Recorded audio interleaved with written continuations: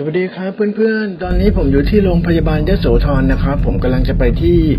วัดศรีธาตุบ้านสิงห์ตำบลสิงห์อำเภอเมืองจังหวัดยโสธรนะครับ ซึ่งอยู่ไม่ไกลมากนักนะครับ จากโรงพยาบาลไปก็ประมาณ 11.7 กิโลเมตรนะครับ ใช้ระยะเวลาก็ 14 นาทีนะครับ ตามผมมาครับขับวิ่งตรงมาเรื่อยๆนะครับ ก็จะถึงทางเลี้ยวนะครับ เลี้ยวขวาเพื่อไป ธาลูกข้าแม่วัดทุ่งสะเดานะครับ เลี้ยวซ้ายก็จะไปที่บ้านสิงห์นะครับ วัดศรีธาตุบ้านสิงห์นะครับ วัดศรีธาตุบ้านสิงห์ตำบลสิงห์อำเภอเมืองจังหวัดยโสธร วัดศรีธาตุสังกัดคณะสงฆ์ฝ่ายมหานิกาย ที่ดินตั้งวัดมีเนื้อที่5ไร่29 ตารางวา อาณาเขตทิศเหนือจดที่สาธารณะ ทิศตะวันตกจดหมู่บ้านและถนนสาธารณะสายบ้านสิงห์บ้านหนองหิน ตั้งเมื่อพศ 2360 เดิมเป็นวัดร้าง ชาวบ้านเรียกบริเวณนี้ว่าดงผีสิง ต่อมามีคณะเจ้าคำสู เจ้าคำโส เจ้าคำขุย เจ้าคำปุ้ย พร้อมด้วยมหาเสียงสา ย้ายมาจากนครเขื่อนขันกาบแก้วบัวบาน ได้มาบูรณะวัดนี้ขึ้น ได้รับพระราชทานวิสุงคามสีมาเมื่อวันที่ 5 กุมภาพันธ์ 2500วัดศรีธาตุเดิมชื่อวัดหลวงในธาตุเป็นวัดเก่าแก่สมัยพระวพตา ว่ากันว่าเจ้าราชครูพลสเมก หรือพระครูยอดแก้วพลสเมกหรือยาครูขี้หอม ซึ่งเป็นพระเถระองค์สำคัญในสมัยอาณาจักรร้านช้างจำปาสักได้ร่วมกระบวนทัพของพระวอมายังบ้านสิงโคกแห่งนี้ด้วย เพื่อหาที่สร้างเมืองใหม่ วัดศรีธาตุเป็นที่ประดิษฐานพระพุทธรูปโบราณธาตุโบราณ มีสถูปโบราณสิงห์หินแกะสลักหอไตรกลางน้ำพร้อมทั้งงานพุทธศิลป์อีสานอย่างอื่น ให้ท่านได้ชมพิพิธภัณฑ์ของวัด โดยส่วนใหญ่จะเป็นศิลปะล้านช้าง อไตรกลางน้ำวัดศรีธาตุสร้างมาตั้งแต่สมัยโบราณ น่าจะผ่านการบูรณะมาแล้วหลายครั้ง แต่เดิมก่อนการบูรณะมีป้ายทำด้วยไม้แขวนอยู่ด้านหน้าหอไตร มีข้อความว่า หอไตรอาจารย์สำริดเศรษฐวัฒน์ชาวบ้านบูรณะเมื่อพศ 2530 และมีการบูรณะครั้งล่าสุดโดยกรมศิลปากร สำนักศิลปากรที่ 11 อุบลราชธานี